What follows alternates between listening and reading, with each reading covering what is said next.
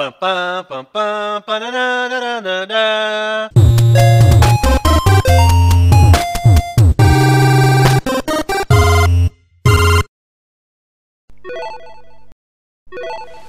Salve rapaziada, aqui é a com desde o Atari e o jogo Jurassic World. Hoje vamos começar a pegança dos Red Bricks aqui. É, vamos começar lá pela ilha Sorna, não sei qual é a ilha.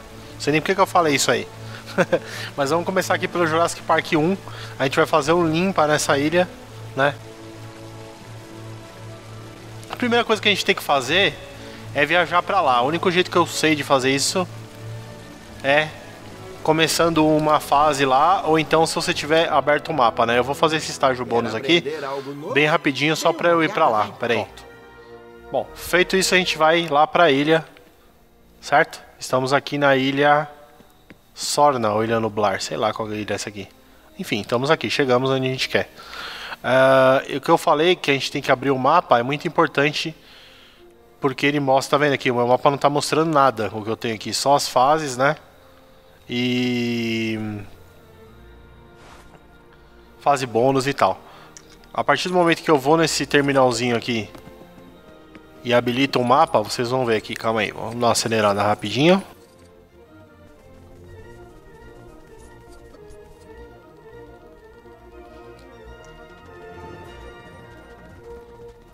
Beleza, aqui ó, é esse totem de localização que tem informação. Ó, se você olhar aqui no mapa, não tem nada, né? A partir do momento que eu ativo um deles, ele vai me mostrar tudo que tiver ao redor. Tá vendo? Me mostrou aqui que eu tenho Red Bricks, que eu tenho foto e tal. É, blocos de ouro, foto e tal. Se tivesse um Red Brick, ele ia mostrar. Se tivesse uma corrida ou um dinossauro doente também, ele ia mostrar. Então é importante você vir em todos esses esses totemzinhos e acionando eles. Porque depois que você também tiver acionado todos, você consegue fazer uma viagem rápida entre um ponto e outro, tá vendo? Se eu quiser fazer uma viagem rápida para cá, eu consigo desde que eu tenha habilitado esse totemzinho. Certo?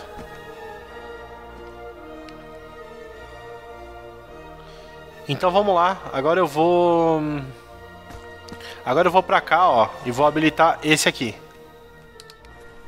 Inclusive eu não posso nem marcar no mapa se eu não tiver feito isso aqui. Eu vou pra lá porque é lá que eu vou pegar o primeiro Red Brick. Beleza, rapaziada. Eu tô chegando aqui. Vou acionar aqui o mapa pra mim. Tá bem aqui na porta do centro dinossaurístico aqui. Olha lá, ele já habilitou pra mim falando que tem é, Red Bricks, funcionários em perigo, que tem um Red Brick aqui, que tem outro Gold Brick aqui. Né?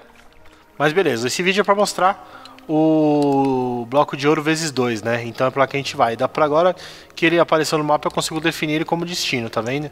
Então me alonguei um pouco aqui para quem já sabia isso, desculpe, mas para quem não sabe é fundamental fazer isso primeiro. Vamos lá, o primeiro bloco de ouro, oh, primeiro bloco de ouro, primeiro bloco vermelho que a gente vai pegar que é o multiplicador vezes 2. A gente vai precisar de um milhão, deixa eu ver se eu tenho. Ih, não vou conseguir comprar. Mas tá bom. É... Mas esse é o primeiro que você pega e faz muito sentido você começar por ele, porque ele vai multiplicar tudo que você ganhar por 2 e aí você começa a ter dinheiro para comprar todos os personagens que você quiser e dinossauros e tudo mais. E também os outros blocos de ouro, né? Tá aqui.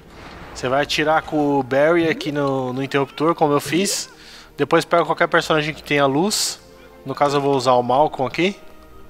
Que ele tem o sinalizador dele. A gente vai entrar aqui e encontrar o bloco de ouro, certo? Agora eu vou mostrar pra vocês como é que ativa esse bloco de ouro. É o primeiro de 20, tá vendo? Tá lá. Esse aqui no caso é o multiplicador vezes 2. Você vai vir aqui em extras Ó, tá vendo? Pontuação vezes 2 disponível para compra. É, você tem que ir lá no prédio e desbloquear primeiro. Vamos entrar dentro desse próprio prédio aqui. Se bem que eu não vou conseguir comprar, que eu não tenho o dinheiro necessário ainda, né? Mas enfim.